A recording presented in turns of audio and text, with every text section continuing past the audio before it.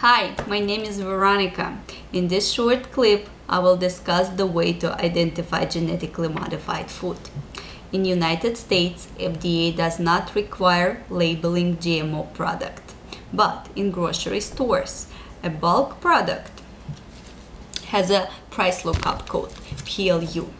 It can have either 4 or 5 digit code printed on a sticker that apply directly to a product genetically modified product has 5-digit PLU number that begins with number 8.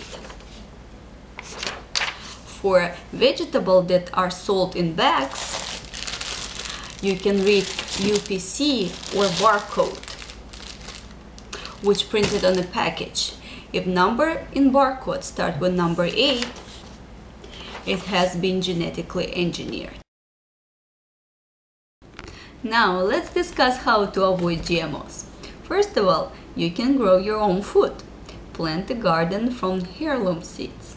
That way you know for sure that it's not genetically modified. Second, buy organically grown food from your local organic store. Also, you can avoid soy, corn, canola, and cottonseed oil, as most of them are genetically modified.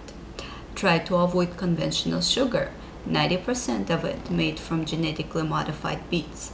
Most of the canned, processed food contain GMO product as well. As an alternative, you can buy fresh from farms. This is the best way to avoid GMOs and ensure you're eating real food. Please stay healthy.